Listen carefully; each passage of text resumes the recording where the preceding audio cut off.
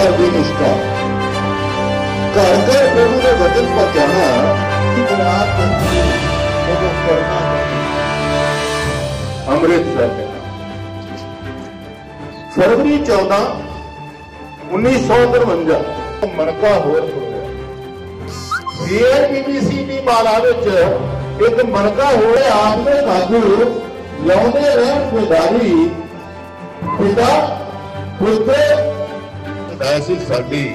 ਅੰਮ੍ਰਿਤਸਰ ਹੈ ਨਾ ਤੇ ਕੁਝ ਦਾ ਨਾਮ ਰੋਏ ਸਲਾਮਤ ਐਸੀ ਸਾਡੀ ਅੰਮ੍ਰਿਤਸਰ ਹੈ ਨਾ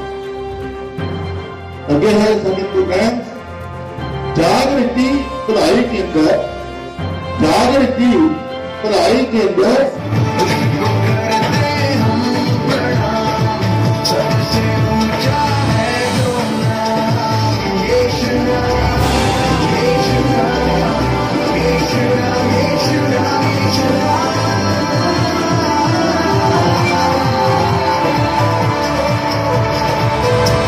मैं अमृतसर डायसिस का bishop bishop Pradeep Kumar Samanta Ray church North India की तरफ़ से सबको sixty ninth diocesan foundation day की बधाई देता हूँ।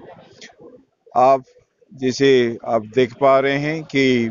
जम्मू कश्मीर, इवन अनंतनाग से लेकर खेमकरन तक और हिमाचल प्रदेश के लोग यहाँ आए हैं सम्मिलित हुए हैं। और ये जो सिक्सटी नाइन्थ फाउंडेशन डे हम मना रहे हैं, ये एक शुरुआत है सेलिब्रेशन का, जब तक हम सेवेंटीथ सेलिब्रेशन करेंगे।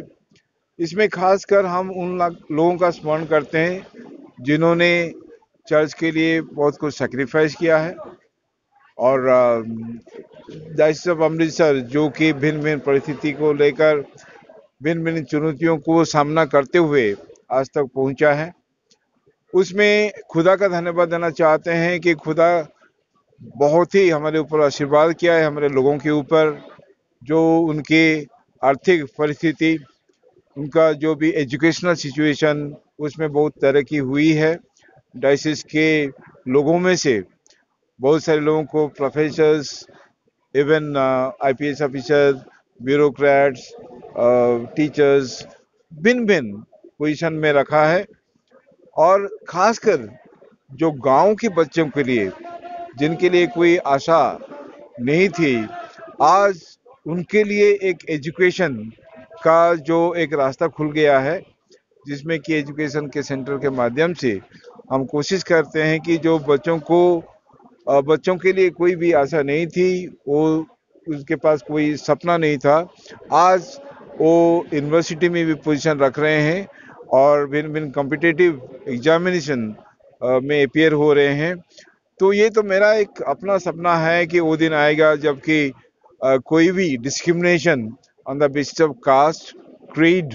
या इवन इकोनॉमिक कंडीशन पे बेसिस पर देखने को नहीं मिलेगा। और अ, समाज में सब मिलकर काम करें और खासकर जो कि आज के दिन में देश का जो देश की जो परिस्थिति है उसमें आज तक चर्च का जो योगदान है, उसमें हम एक नयापन देखना चाहते हैं कि कैसे कि हम